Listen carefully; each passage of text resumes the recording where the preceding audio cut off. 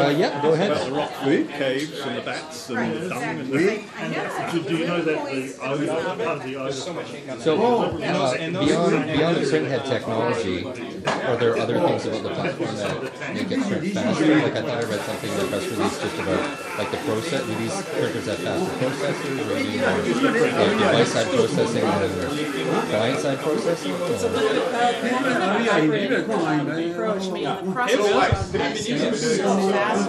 Yeah. So we're doing some of the processing on the PC and some of the processing. And actually, some of the final 100 milliliters of black ink, and then 50 of the yellow magenta inside here. And uh, basically, they're meant to last like has the 70,000 nozzles embedded in it. So inside that black strip are 70,000 nozzles, and essentially, Wow. it's you know incredibly dense, high density.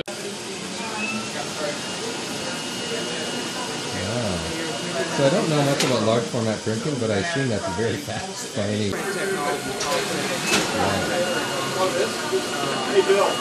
print for you. I can do roll to roll, like a web to web video.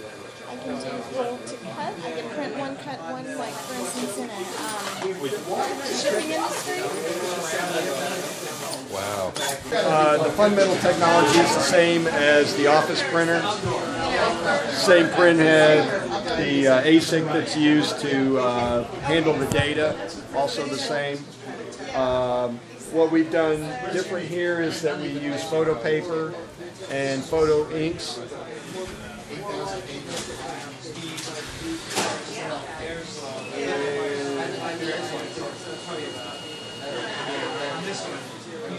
This product is a uh, what we call a print engine.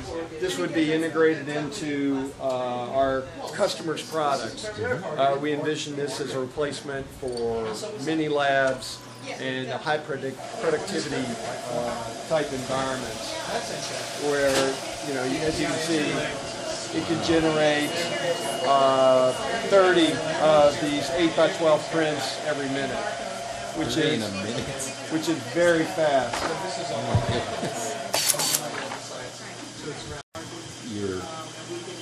the output that you're seeing here is uh, appropriate for the consumer market that your partners are, are going to be Yeah. going after. Right, right. Our, our partners are, you know, happy with this, and that's where we landed. Yeah. Yeah, I mean these look uh, these look great.